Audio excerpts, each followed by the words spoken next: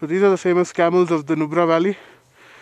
As you can see, they have two humps. So I'm guessing that's Bactrian. I don't remember my biology that well. And there's one that's having a nap over here. Huh? They are Bactrian. Yeah, so they are Bactrian camels.